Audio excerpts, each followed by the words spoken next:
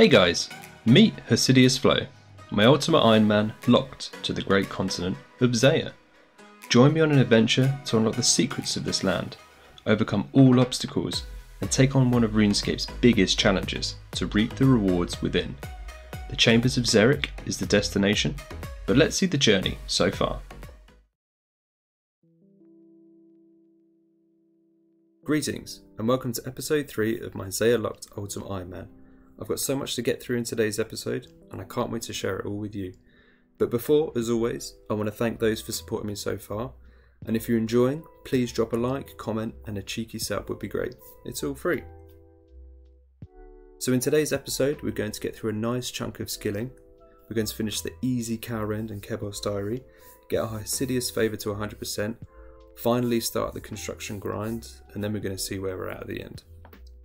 But before all that, I want to address the main goal of this account and pull up some ideas I've been working on whilst we sell some bits and get set up for the skilling grinds. So welcome to Theory Crafting with Flo. As you've gathered from the new swanky intro, we're aiming for the Chambers of Xeric and also for solo clears using a Zeah only setup. There are many things we'll need to do to get there and to fight the mighty Olm. Oh wait, this cute thing? Oh no, this big old dragon boy. And why do we want to do that? Well, apart from it being one of the biggest endgame challenges, it offers some of the most prestigious loot in the game. Now, I'm not going to go through the point systems just yet, but here is what we could get.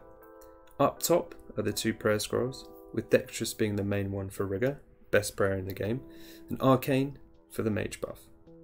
The Twisted Buckler would be really nice as it's the best shield I could get, as at the moment the Rune Kite shield is all we can get, and the Dragon Hunter crossbow would be a great upgrade and would speed up the Olm kills. Moving on to the next tier, the D Claws would be an awesome spec weapon, Ancestral Robes of course, and it's storable, but I don't see any use for the Dinh's Bulwark, probably just a cheeky alch. And lastly, the big ones, the cool kids weapons. Of course, the Twisted Bow would be the one to get. The Kodai, it's pretty useless, not gonna lie, and the Elder maul is a great crush weapon, so that could help for future PVM. Oh, and there's also this little fella, who would be an amazing pet to flex, and also there are a heap of supply drops that would make it getting higher levels and 99s a lot easier. So that's the destination, but what about the journey?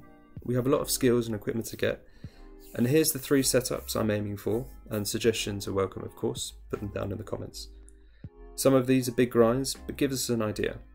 Key ones being the whip needing 83 Slayer, the D-hide sets, clue items, rune crossbow, jewelry like the combat bracelet, all needing 99 hunter, or lower for dragon implings, 99 construction for the con cape, and if we can't get that then a god cloak would be great from the uh, lucky imps there, the elusive dragon warhammer for the specs, and hopefully not the dragon warhammer memes, some of the Hydra items, like the boots and the ring, would be great, and a fair bit of smithing and fletching for Ruby Bolt's E.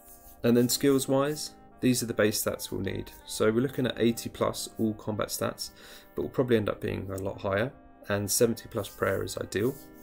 Also, we need 55 farming and 78 herblore to gather things inside the chambers, as well as a host of other skills, and we'll get that along the way. So that's what this is all about some big grinds ahead, and some awesome items to get. But for now, let's get back to where we are, and that's leveling up some skills for the diary tasks. I'm up here in Port Piscarilius to fish and cook. I bought a fishing net down in the Warrens from the fishmonger, and there's a range behind us. I need to get 20 fishing to catch trout for the diary, and a higher cooking level for the mess hall to get 100% Hosidius favour. So let's get into it.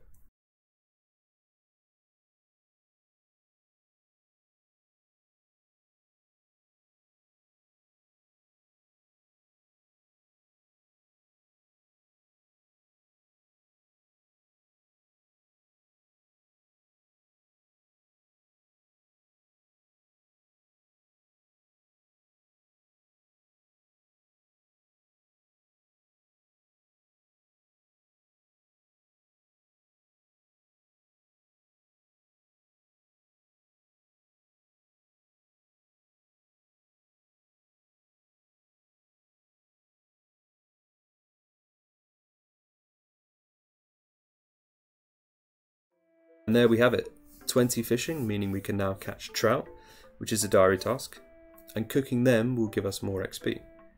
We just need to head back to the fishmonger to grab a fishing rod and some feathers. You join me here on the lovely banks of the River Mulch. One man and his rod going for the elusive trout, and that's another diary task completed. Only two more to go.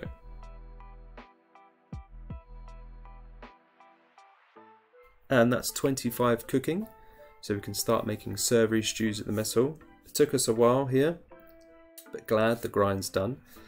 Now let's drop a few bits and head on over to the mess hall.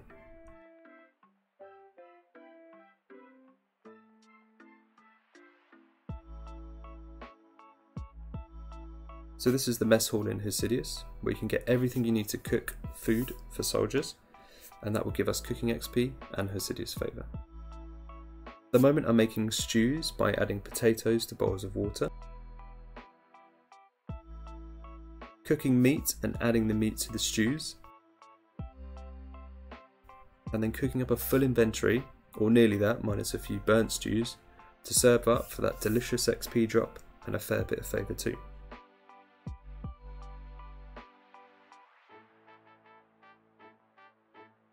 Oh no, what's this? A raccoon in the kitchen? That's definitely not what we want. I'll let him out into the wild.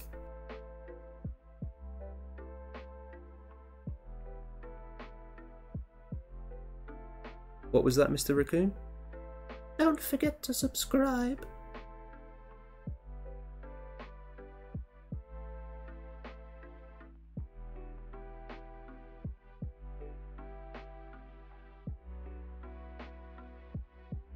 That's the last inventory of stews, giving us 35 cooking and 100% favour. Lovely stuff. Now let's speak to Hosa and get his part of Architectural Alliance done. On completion of this, it will give us a new teleport on the talisman and some XP lamps. So next up is 15 mining for the diary task. I've skipped the initial levels and now I'm climbing the slopes of Mount Karuulm to finish off this task mine some iron here in this mine, and that needed 15 mining, which I got at the mine down by sand crabs. Lovely stuff. Now for the final diary task. Move my house to Hosidius, needing 25 construction. Before we can start construction, we need to get 60 wood cutting, so I've been down here for some time trying to get a mithril axe to speed things up and they drop off these big sand crabs. Oh, and look what we have. A mithril axe. Love to see it.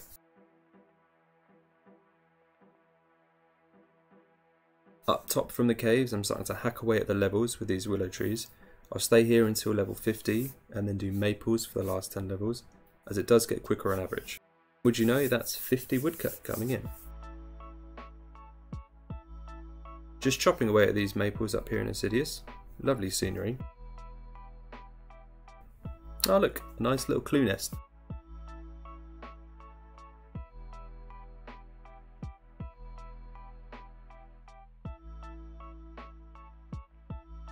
Let's open her up and see. Oh way, it's a Zeah step. Alright, let's see how lucky we can get with this one. So we're up in Insidious and we just need to search this crate for a new clue. Oh, no. A Camelot step. Can I say never lucky yet?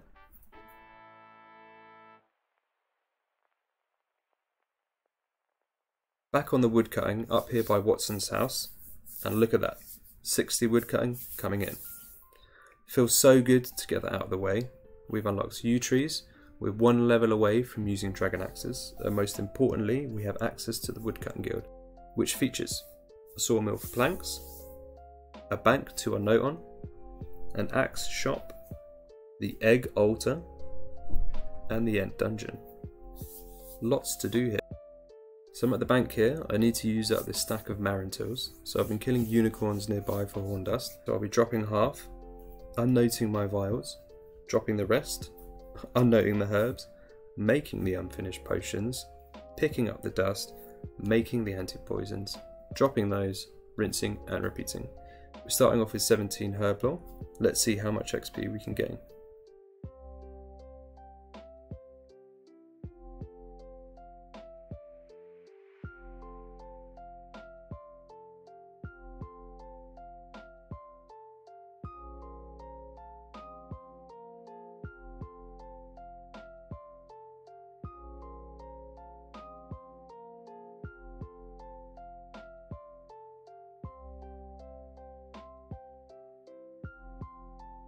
So that's a nice 22 herb from those Marrentills. We can pause the Unicorn Massacre for now and free up one more inventory spot for construction training. And we have just one more job to do, and that's to buy a house. Yes, Mr. Estate Agent, sell me a house. 1,000 gold. What a bargain. You'll never get that these days. Awesome, now we have a house. All we need is 25 construction to move it for the diary. So the method to start off is to cut an inventory of logs, head over to the sawmill, grab a saw and some nails, make the planks, and house teleport to start the training.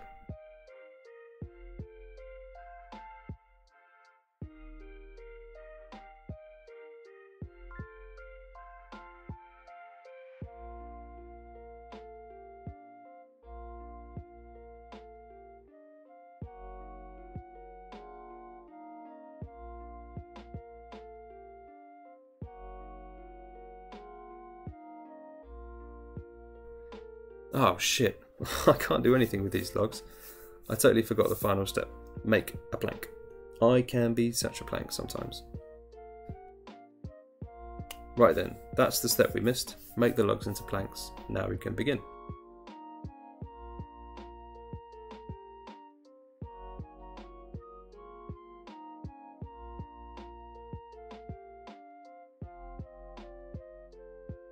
Here we go guys, the first thing we can make, a crude chair for two planks and two nails.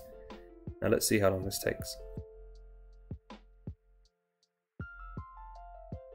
There we go, first construction XP drop on the account. Lovely stuff.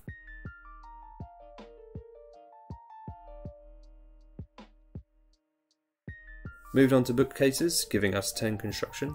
We can now build a lovely dining room to eat in alone because I stand alone.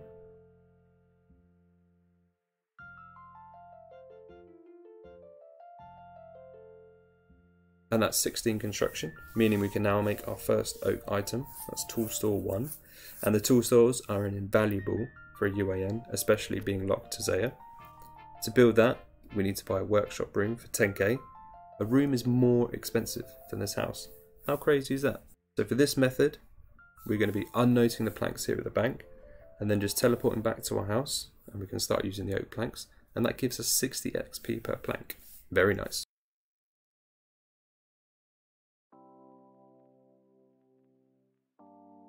Moved on to repair benches to speed things up and there we go. That's 25 construction. Happy days, we can finally complete this easy diary and get our Rada's blessing. So we're back here at the estate agent for the last time until we get 99 construction and we will get 99 construction. And we're going to move our house to Hosidius.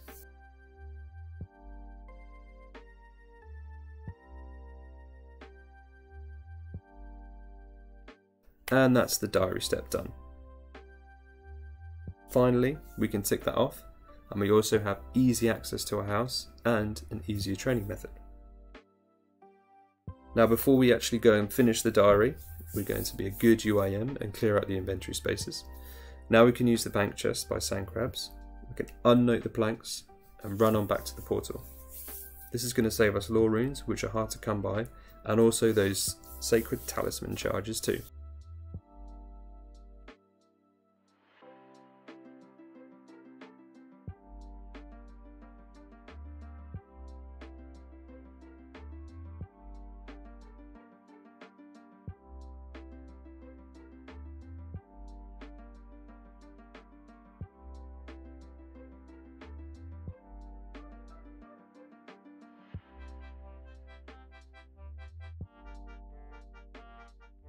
And here are the final planks being used. Managed to get 28 construction, which is a nice starting level.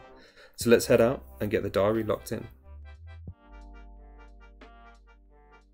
Elise, where are you? Here we go. Right, show me the good stuff. And that is the easy diary done. This gives us all of these bonuses. We get three teleports to the woodlands a day and a 2% chance to catch two fish at once whilst equipped. Could be useful. We've got a tasty 2.5k XP lamp, which we're going to be saving for now. And then the increased drop rate of the talisman, which is good in case we need to get another one. And the reduced tanning may come in handy, but I don't think we can kill red dragons easily without protection.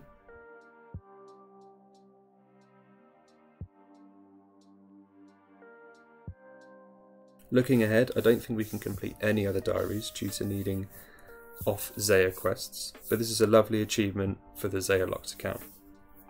So that wraps up today's video. I want to thank you so much for watching and I hope you enjoyed. Be sure to like and subscribe and also check out my Twitter. I do post interesting stuff sometimes and the link is down in the description. In the meantime, take care and I'll see you soon.